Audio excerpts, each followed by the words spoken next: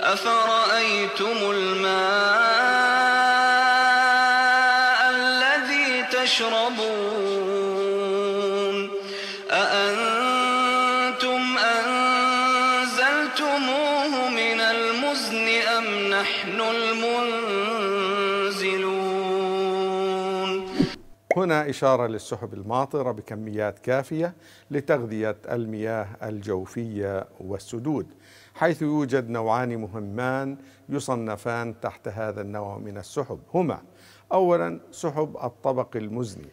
هذا النوع من السحب الممطرة ذات لون رمادي أو رمادي قاتم وتظهر على شكل طبقة متسعة الرقعة تغطي جزءا كبيرا من السماء وهي سحب سميكة متجانسة مما يجعلها تحجب قرص الشمس والقمر وهي في العادة غيوم مصاحبة للمنخفضات الجوية وبالتالي فإن الأمطار الناتجة عنها تغطي مساحة واسعة ولفترة طويلة نسبيا فتغذي المياه الجوفية والسدود.